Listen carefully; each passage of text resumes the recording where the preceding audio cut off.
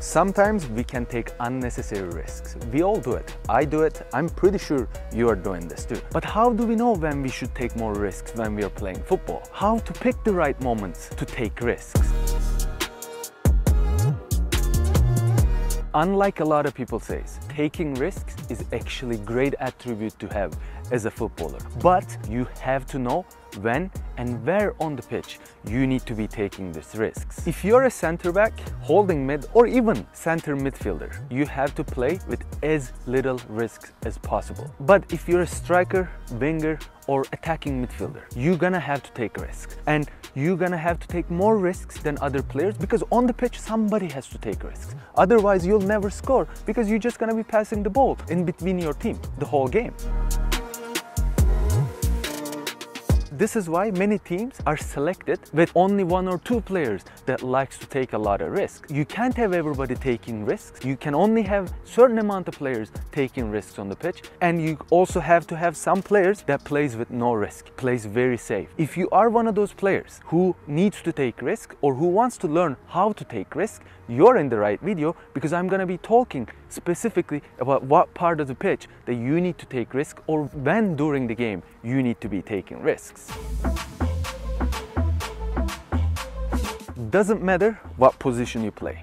If you are in your own half, you must forget about taking risks. You cannot afford to take risks. If you take risk and you lose the ball, it's all on you. You screwed it up, you gotta have to go back and you gotta have to win the ball so you can stop the counter attack. If you lose the ball in your own half, this is extremely dangerous for the opposition to take the ball and quickly counter attack and quickly find those opportunities to score on your net. I can simplify by saying your own half, no risk whatsoever. Your center backs, your holding mids cannot play with risks in those areas. If you are in the two-thirds of the field where you're getting closer to the opposition's area, now you play with minimal risk to moderate risk. But if you are really close to the opposition 18, that's when you take maximum risk. It's gonna be your wingers, your attacking midfielders, or your strikers. These players can take risk in that area when you are closer to the opposition's 18.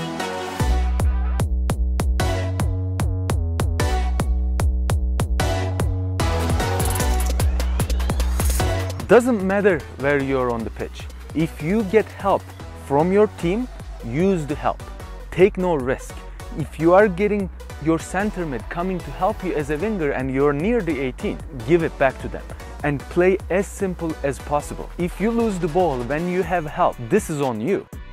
But if you get no help and you're a winger and you're on the wide side of the field, really near the opposition's 18, you're gonna have to take risks because you don't have anybody else to see you don't have anybody else to pass. So when you're taking risks in those zones, if you lose the ball, this is not on you because you did not have any help. You can try to achieve to win a corner kick, you can try to achieve to win a throw-in, and you can try to wait, stall the game until you get some help. If you are not in a situation where you can dribble around the players to create yourself opportunity to shoot. This is also the same if you're central or if you're in the back line. You can always go back, play to your goalkeeper or find somebody who's more open than you are. But if you get no help you have no option. And this is not going to be on you. You must have help from your teammates. If they don't come to help you then it's on them players that needs to be there to help you out. This is when you have to use your own judgment.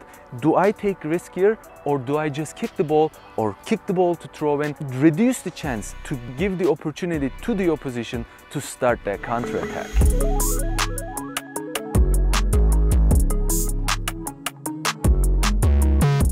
Let's say you're a striker or attacking midfielder. Naturally, you're gonna be central. The opposition will be very tight to you and there is not really so much room for you to receive the ball and take the risks. So what do you do? You go to the zones where you have more room, which is either the width of the field or you come in deep where there is no opposition and that's when you receive the ball. If you want to take risks as a striker or attacking midfielder, you have to find those gaps to receive the ball and turn with the ball.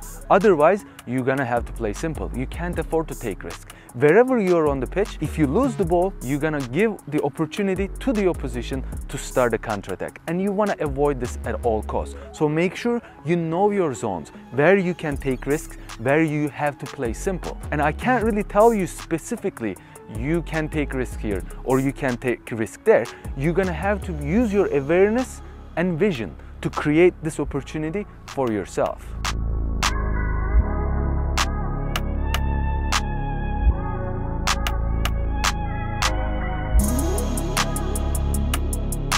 To summarize where you can take risk or when you can take risk, if you get help, you play simple. If you don't get help, you take risks. It is as simple as that.